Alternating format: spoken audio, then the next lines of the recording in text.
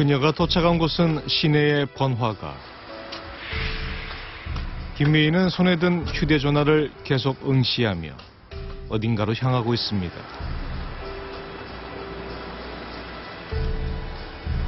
잠시 후 들어선 곳은 한 유흥업소. 이곳을 찾은 이유는 무엇일까요?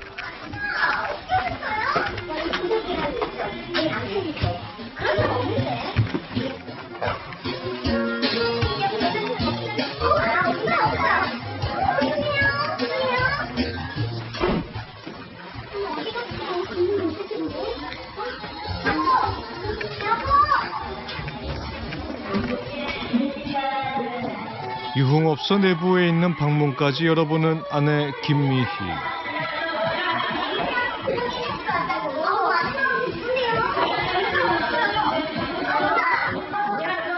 그녀의 행동은 몹시도 절박해 보입니다.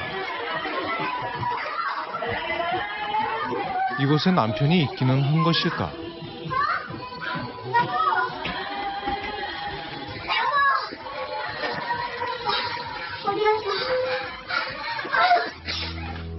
그런데 애타게 남편을 찾던 김미희가 돌발 행동을 보입니다.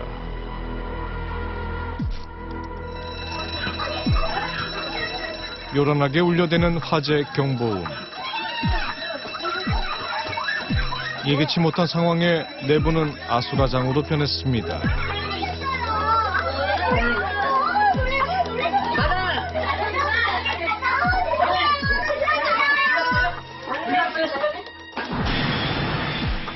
그때 모습을 드러낸 남자는 바로 고덕기였습니다.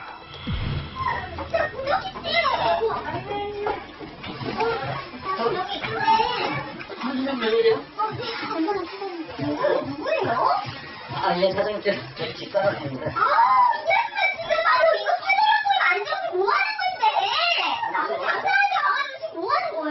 집가락 집가락. 사장님, 무슨, 저기, 일 때문에 여기 오는 거야, 나 여기.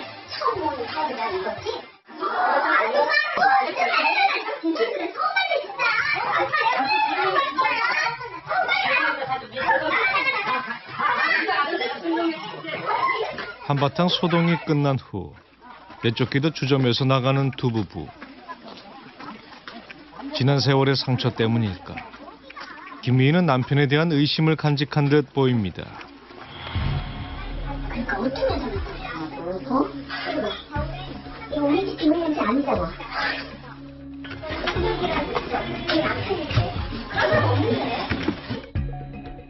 남편 고덕기를 향한 강한 불신감을 드러내는 아내 김미희. 그녀가 이토록 남편에게 집착하는 이유는 과연 무엇일까?